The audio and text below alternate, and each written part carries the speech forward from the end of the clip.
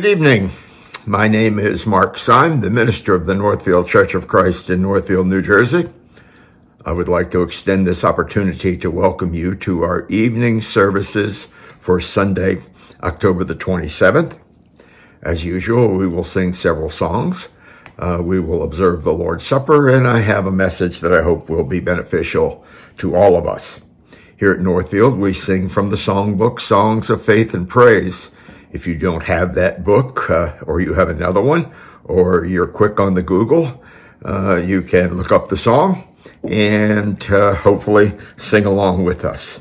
I was really gratified as I looked over the uh, YouTube uh, uh, live streaming that we had 30 views last week. So I'm just really pleased with that.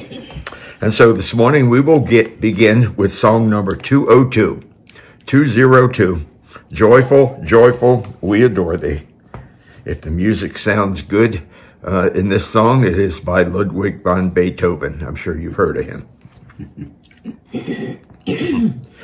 Joyful, joyful, we adore thee, God of glory, Lord of love. Hearts unfold like flowers before thee, opening to the sun above.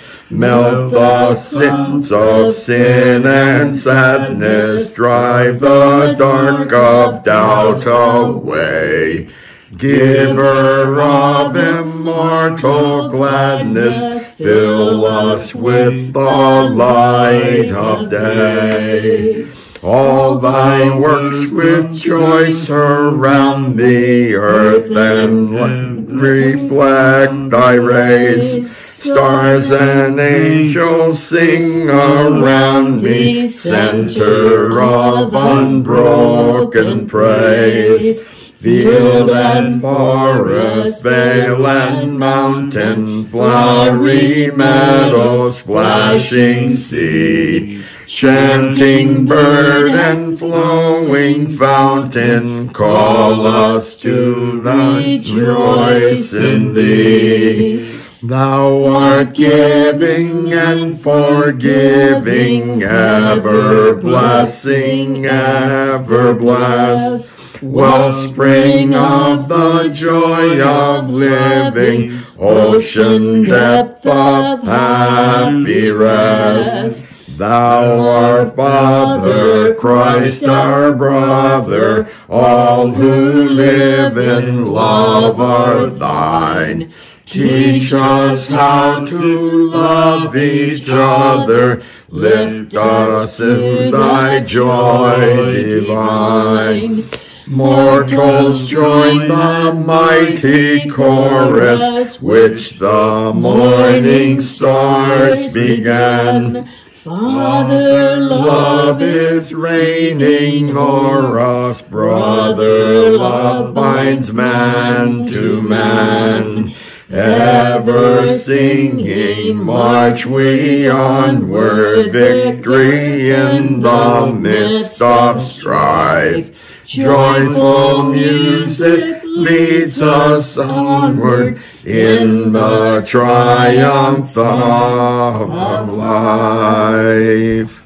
The next song will be 172.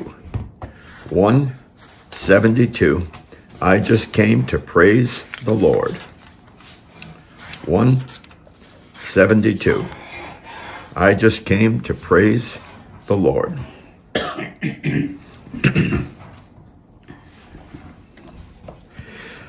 I just came to praise the Lord. I just came to praise the Lord. I just came to praise his holy name. I just came to praise the Lord. I just came to thank the Lord. I just came to thank the Lord. I just came to praise his holy name. I just came to thank the Lord. I just came to praise the Lord. I just came to love the Lord. I just came to praise his holy name. I just came to love the Lord. To prepare our minds for the Lord's Supper, let's sing number 335, 335 in memory of the Savior's love.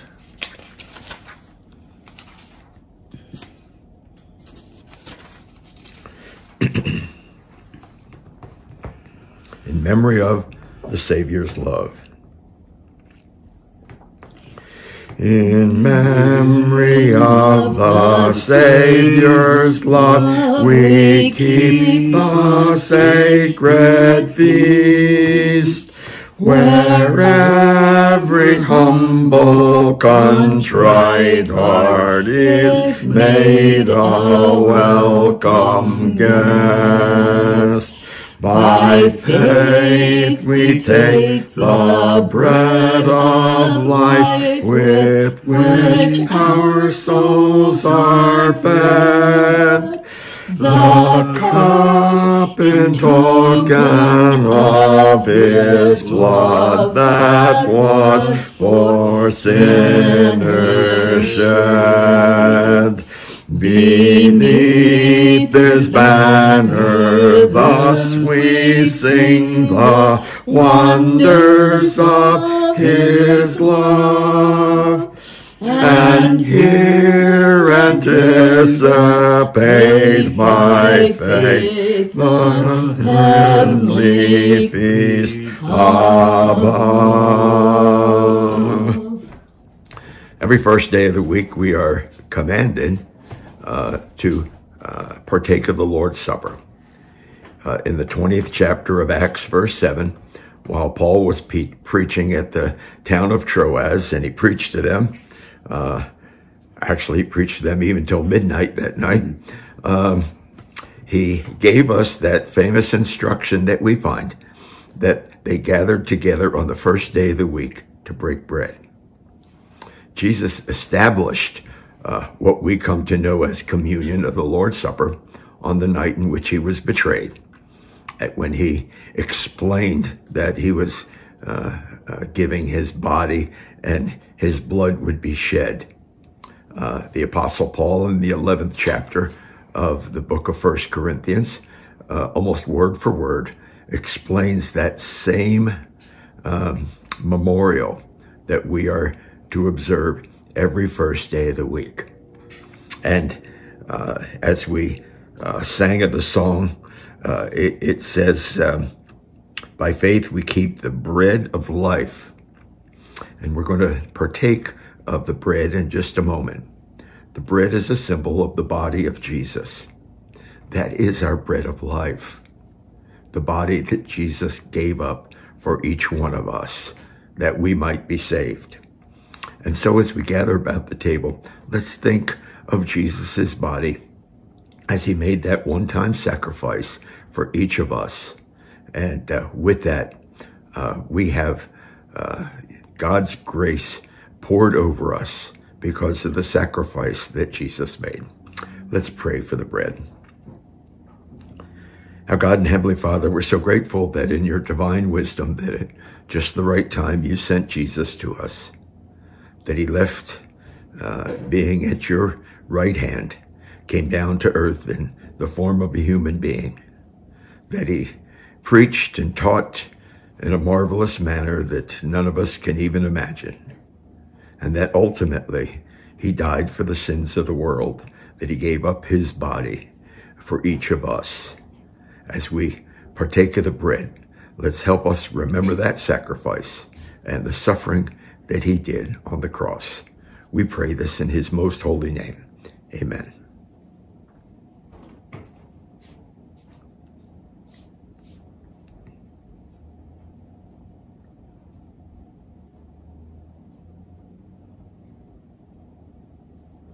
I think again that the song that we just sang puts everything in perspective.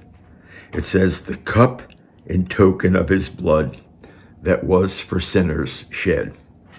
We have to always remember that Jesus shed his blood for the sinners of the world. And our sinner, our sins can only be forgiven through the blood of Jesus Christ. And so as we memorialize his death uh, this morning by partaking the Lord's Supper, let's remember the precious blood that flew from that flowed from his head and his hands and his feet and his side. And uh, let's understand that that cup, uh, that blood uh, is um, the token of his love. And that blood is what washes away our sins. Let's pray for the cup. Our Heavenly Father, we're so grateful that Jesus was willing to shed his innocent blood.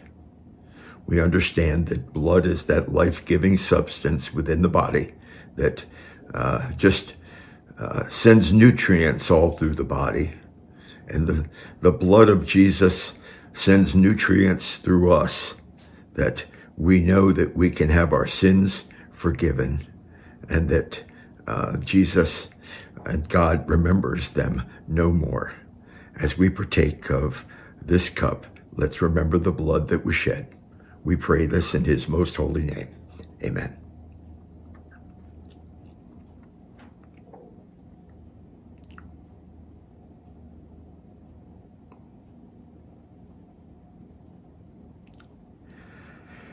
Having completed the Lord's Supper, we understand that on the first day of the week, we are also commanded to lay by in store, to give back to the Lord that which is his own. And so as we reflect upon that, uh, there is certainly a relationship between the Lord's Supper and giving back. Just the understanding that Jesus gave his life for us. And we are called upon to give of our uh, our monies so that the church can uh, do its purpose here on earth, that we can bring others to the Lord, and that we can be of aid to those who are needy. And so as we think about giving back, help us to indeed, as the scriptures say, to give as we have prospered, and to give in a cheerful manner. Let's pray for the contribution. Our Heavenly Father, we're grateful that uh, Jesus uh, came to earth. And with that, we understand that he came to earth uh, to save mankind. He put that in the hands of the church. Uh, and the church was built upon Jesus Christ. And we as the called out, we as the church have a responsibility we have a responsibility to go preach the word to all the world. And with that, you know, we come to understand in our society that it does take money to be able to do that. Uh, I just pray that we will give with an open heart, with an open mind, will give cheerfully, as we have been told through the scriptures. We pray this in Jesus' most holy name. Amen. The last song we will sing is number 763, O Master, let me walk with thee. 763. O Master, let me walk with thee.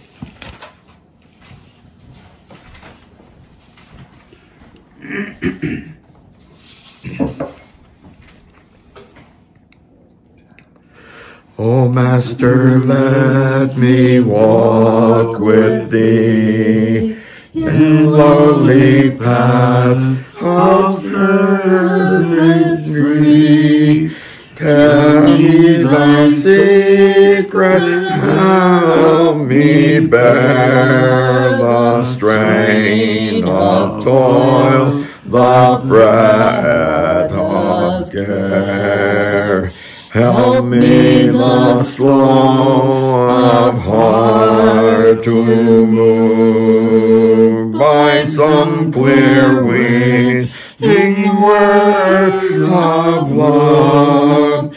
Teach me the way with thee to stay and guide them in the homeward way in hope that sends a shining ray. For down the future's broadening way, in peace that only thou canst give, with thee, O Master, let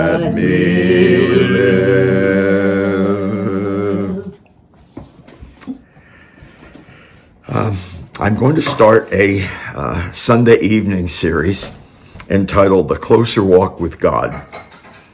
And um, with that, I think that sometimes we need to reflect upon some of the events in our lives that we uh, look at as keystone events.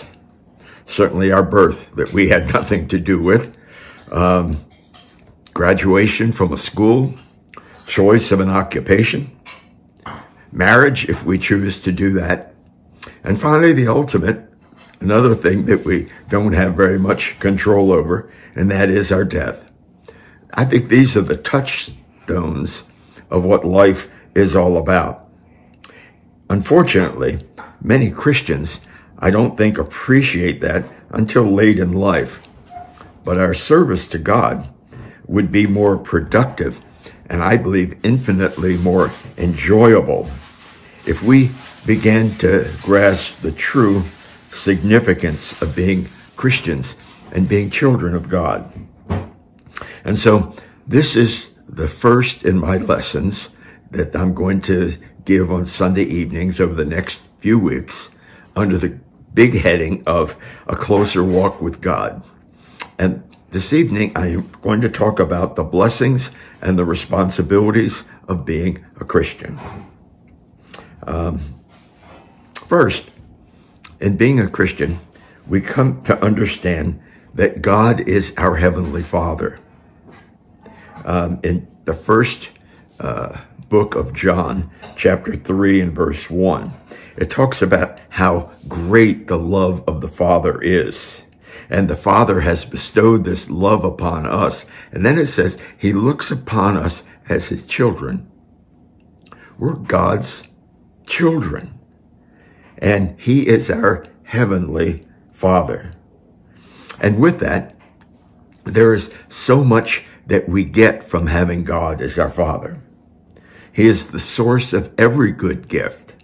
He is the source of every good gift because those good gifts are from above. He provides us with the comforts of life, as we are told in 2 Corinthians chapter 1, verses 3 and 4. We know that uh, through his word, he chastises us when uh, we fall away when we don't do his good will. Hebrews chapter 12 verses 5 through 11 explains that. And with that, a couple of chapters later, in Hebrews chapter 13, verses 5 to 6, uh, uh, the Hebrew writer says that he promises never to forsake us when we become his children. Isn't that an amazing thought to rattle around in our head that if, if we are his children and we follow him as our father and we follow Jesus as our brother, that he will never forsake us. Yet, with that in mind, there are responsibilities for having God as our father. First, James chapter 4 verse 7, it says we have to submit to our father. And part of that is submitting to him through the word of God. Because the word of God is his Holy Spirit inspired words to us.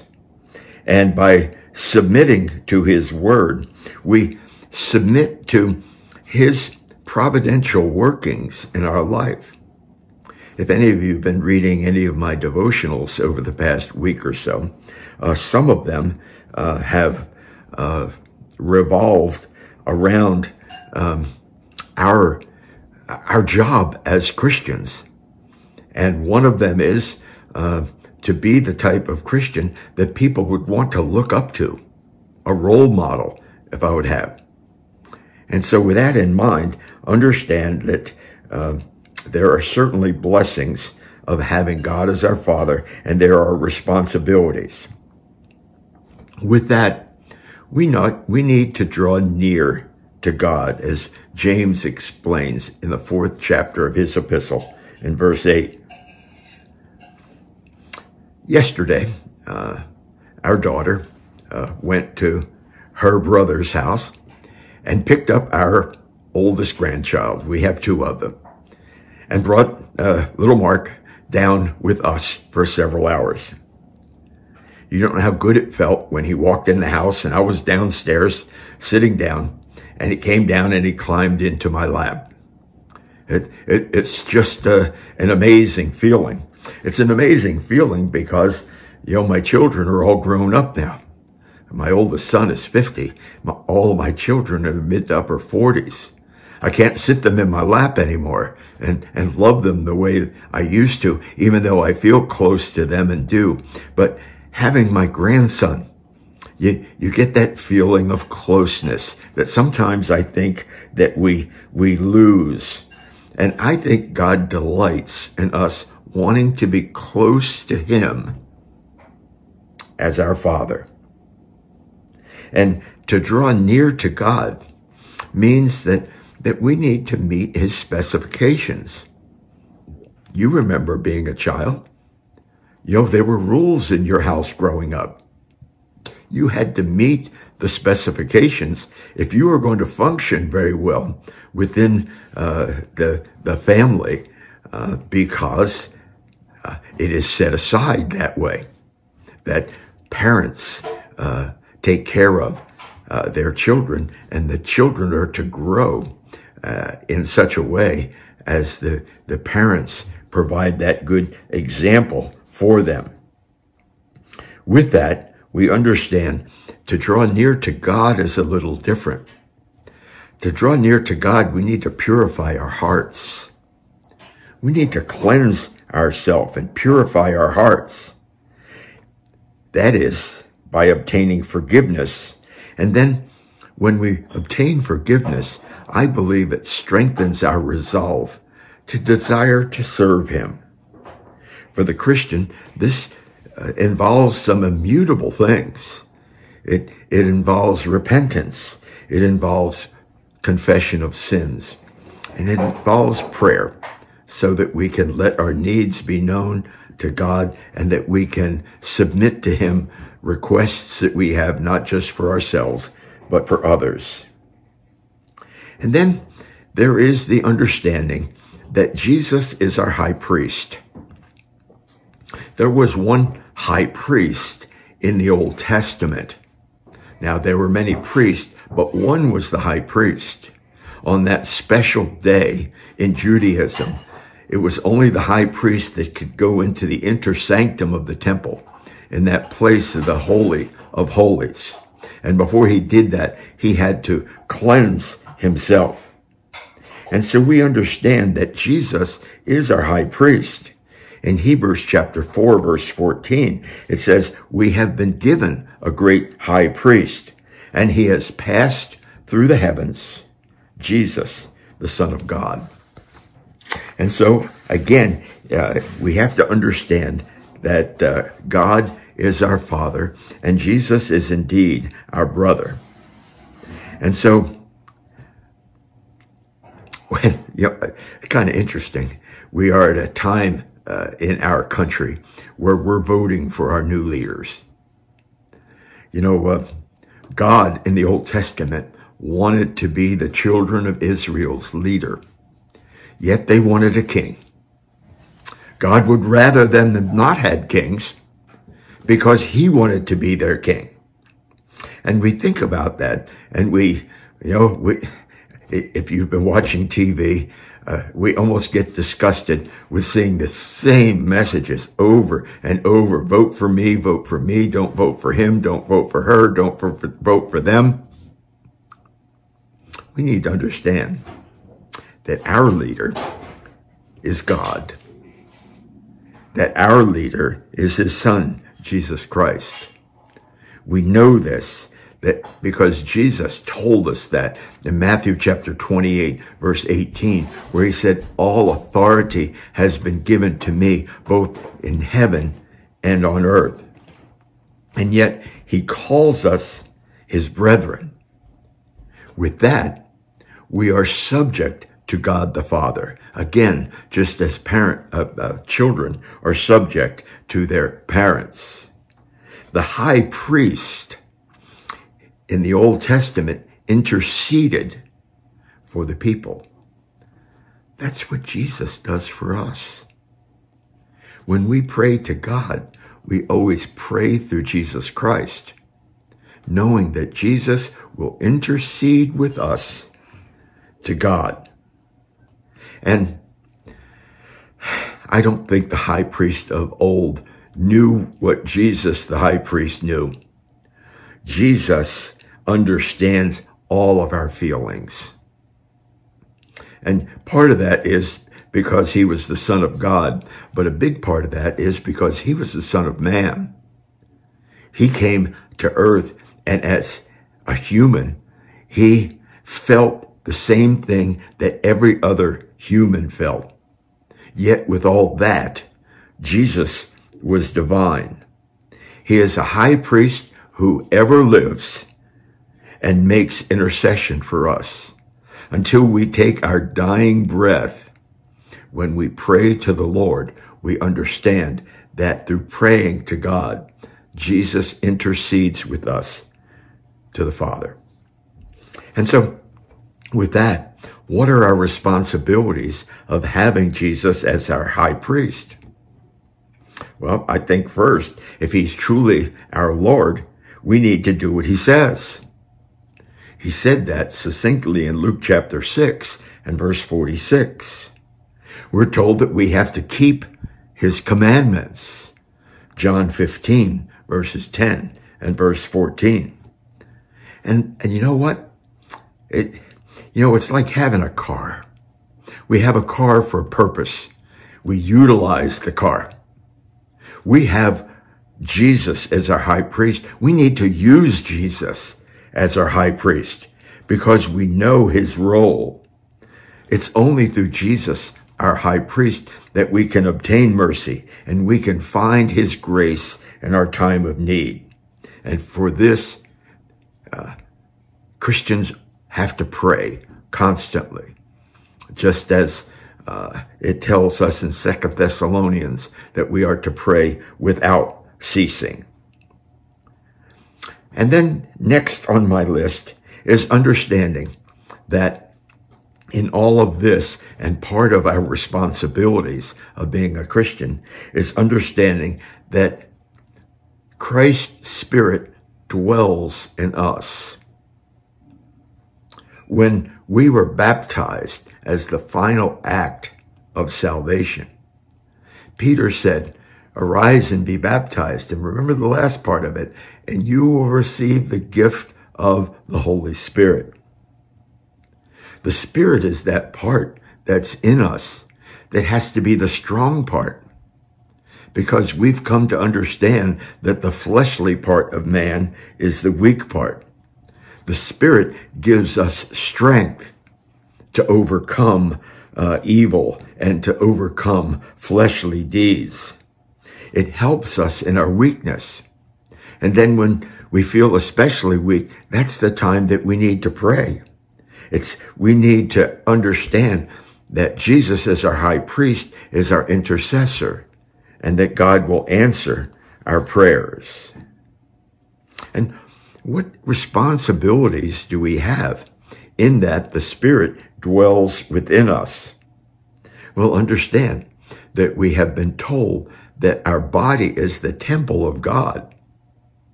Now, if you go back to old time uh, before Jesus, what was the temple? How did the people view the temple? That's where God lived. The temple where was where God is. We need to understand that God dwells within us. Our body is the temple of God. So how do you treat your temple? What do you do with your temple? We need to utilize our bodies to glorify God. And we need to walk in the Spirit and be led by the Spirit. And with that, if we go to Galatians chapter 5, we can produce the fruit of the Spirit. We can only provide the fruit of the Spirit if the Spirit dwells within us.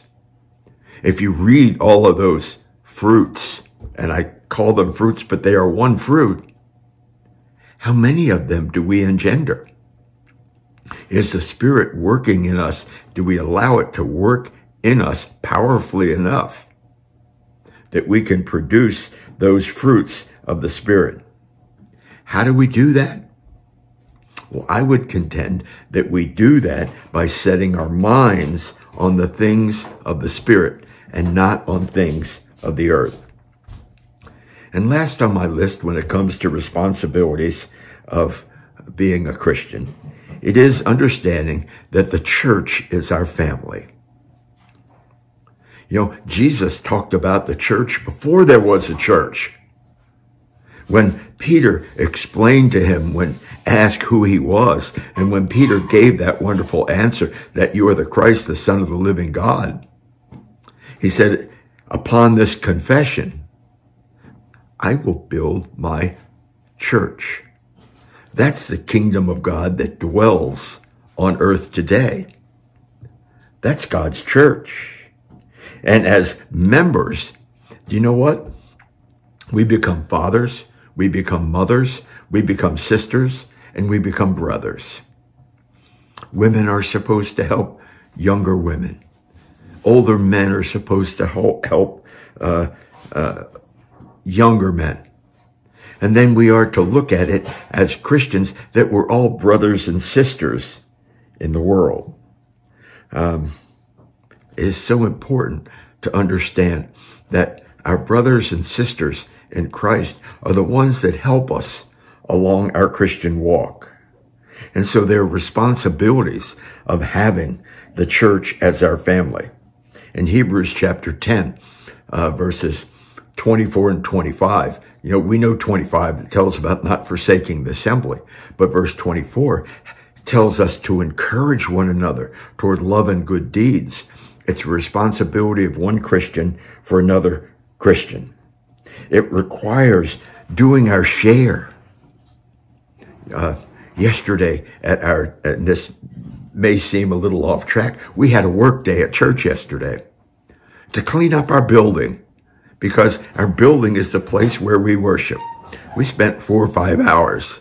There were like 11 people that came and just helped. Why? Because they felt a responsibility. You know, it was announced we would have a work day and they utilized their abilities to help. It, they, they felt the need to do their share. And then there's something else. There's a spiritual aspect in that. In Galatians chapter 6 verses 1 and 2, we are told to bear one another's burdens. That is a physical and spiritual part. This is what the law of Christ is all about. You know, it requires as a church that we get to know each other as fellow Christians, that we come to know each other well, because this is our family. This is our church family. And this is the family that we need to provide support for and we look to for support. You know what? There are certainly many more blessings and responsibilities that we have as Christians, I think I've just scratched the surface this evening. I hope that the ones that I mentioned may suffice uh, in such a way that we will think about what our responsibilities and what our blessings are about being Christians. When we think of it, to me, bottom line is how blessed we are to be called children of God and then how important it is for us to fulfill our responsibilities as Christians. Because as we fill our responsibility as Christians to others, we fulfill our responsibility to Christians as God, as, as, uh, to God as we are supposed to do. And so with that, as we, we think about that, as we started the lesson, we, we noted in John chapter 3 verse 1 that John talked of us as children of God. And so this evening I will offer the invitation to you to become a child of God. It's set forth in the scripture that we need to hear and believe his word, accept it. We need to repent of our former lives. We need to confess Jesus as the son of God. With that we will soon come the understanding that Jesus will be our intercessor and high priest and be baptized for the remission of our sins. If that's your need this evening, uh, you can contact one of us or see us on the Lord's Day, and we will help you in any way to make your way to being a Christian. Let's all pray as we finish our lesson this evening. Heavenly Father, we're so grateful for the opportunity that we had this evening to think just a little bit about our responsibilities of being a Christian and the blessings that we derive from doing so. Continue to bless us as your children. Help us to indeed think of, of what a wonderful blessing it is to be called a child of God. And with that, fulfill the responsibilities that we have as Christians to both do your will and help others who are on that same walk. Continue to be with us. We know that you are the God of comfort. Help us to, as we receive your comfort, to desire to comfort others. Help us in any way possible to do your will, uh, that we might be the type of Christians that you would be proud of, that we would walk the walk and not just talk the talk, because you are our Father and Jesus is our brother. Continue to be with us this evening. I pray this in Jesus' most holy name. Amen. Please be safe and may God bless you all.